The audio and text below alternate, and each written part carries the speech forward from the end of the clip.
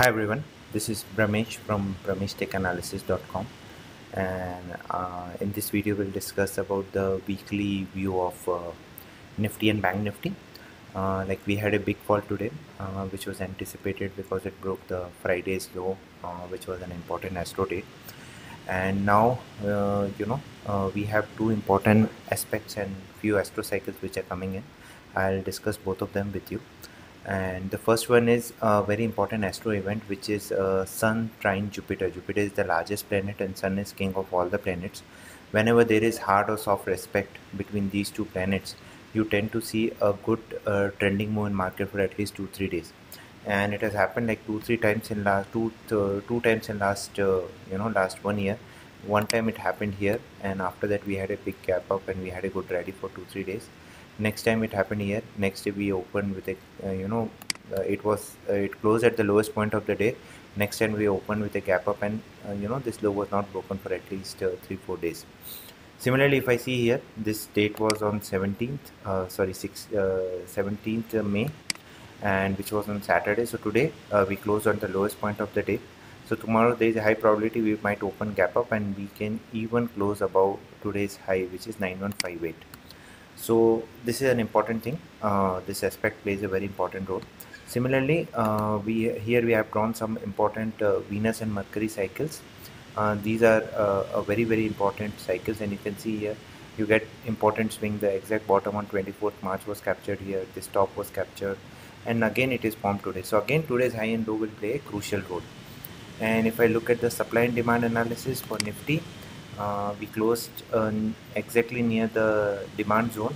So probably 9131 is the level. So if, even if we open gap up tomorrow 9131 uh, to 50 is the range which we need to watch out for. And this is the neural analysis of nifty which shows like we might see a good jump up for next two to three days. And 21st is a very important date which we need to watch. From there we can see a fall. So let's see. Again uh, don't blindly go by neural analysis and uh, if I go with Gann angles also we are you know near an important support zone. So what every everything we are near a important support zone good uh, cycles setting in. So what are the levels which which we need to watch out for? For nifty uh, i would suggest like uh, if it opens gap up tomorrow uh, 9025 uh, best is to go along about 9025 for a move till 9073 9121 9168 and 9216 and if it opens gap up it starts correcting uh, you know which market has been doing from last many days.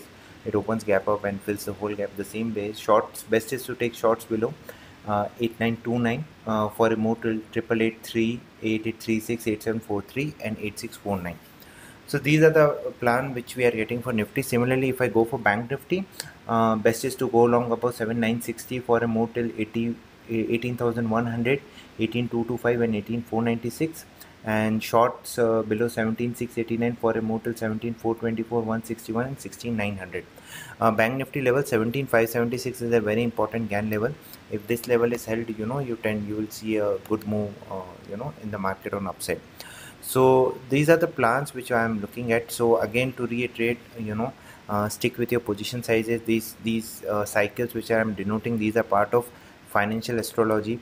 These are important time cycles which we get both for uh, Nifty and Bank Nifty.